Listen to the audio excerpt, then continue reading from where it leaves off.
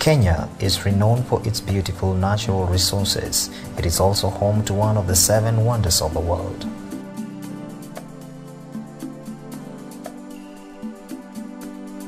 Among many other attributes, Kenya is also home to one of the world's most precious and consumed drinks, coffee.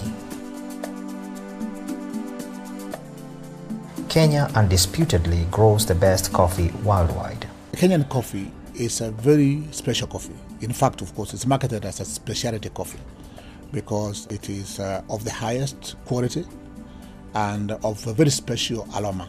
There's no any other in the world that is actually graded like that. Even the biggest producers who are in the same category like Kenyan coffee allude to the fact that there is no other coffee as great as the Kenyan coffee. Kenyan coffee is a unique product in the in the world market, not necessarily because it is coffee like any other coffee, but because of the way that the coffee is grown. The excellent and rare climatic conditions that are only found in a few places in Kenya and other personal professional care given to Kenyan coffee gives it that rich taste that has made many very glad.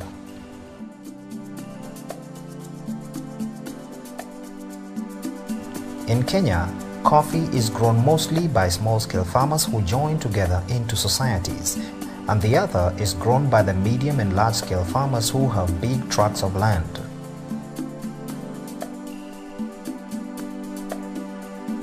Among the many farmers who have benefited from the reforms in the coffee sector is Mr. Matthew Mugo, who not only grows the coffee but is also involved in the sale of coffee both locally and internationally. Having started with only a few acres of the crop, Gibson's coffee estates have continued to grow through partnerships with other like-minded farmers who see the potential in the coffee sector in Kenya.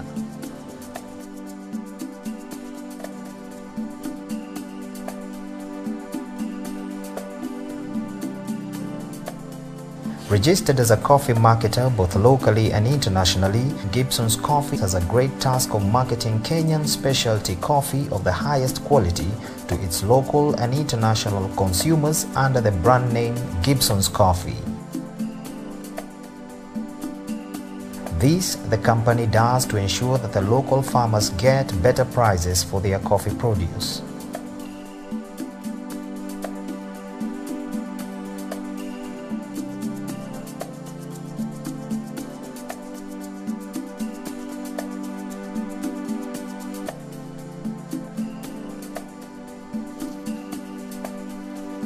The attention given to Gibson's coffee in the farm is high in standard to ensure that only quality coffee is produced. Kenyan coffee, which is of uh, Arabica variety, is a very special product in the international marketplace because Kenyan coffees are grown in areas where the, the rainfall is well distributed throughout the, the year. The, the, the area in where those coffees are harvested and cultivated uh, have very deep volcanic soils, bearing in mind that uh, most of these coffees come from around Mount Kenya and uh, also around the slopes of the, the Aberdares.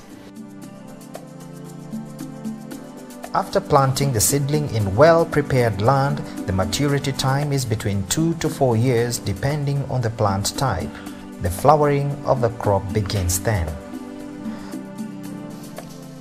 During this time, the weeding goes on in preparation for the April rains. After the rains, pruning goes on and the fertilizer is applied to the crop.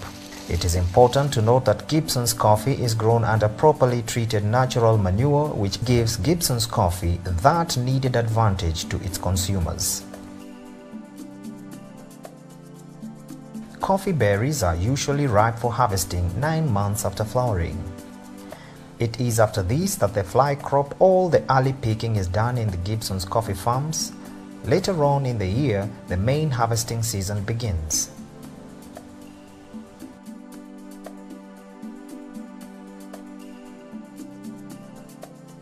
Harvesting at the Gibson's coffee farms is carried out by hand, unlike strip or mechanical methods practiced in other parts of the world.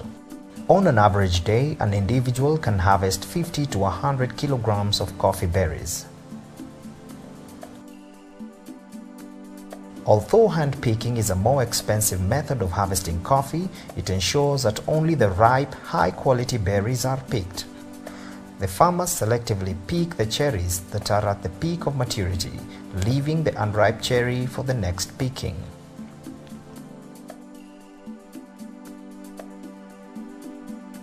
The coffee is then subjected to more selection to ensure that only the highest quality cherries make their way to the factory for processing.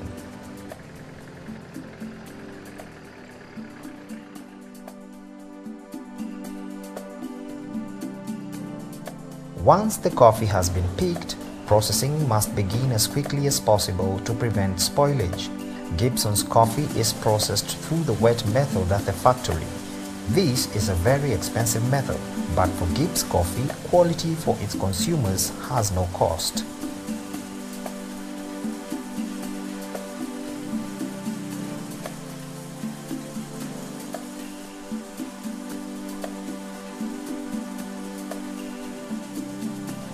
First, the freshly harvested cherries are passed through a pulping machine where the skin and pulp is separated from the bean.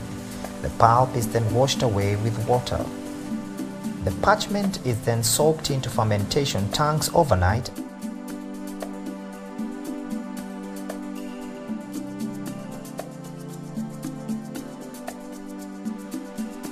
The coffee is again subjected to a thorough washing.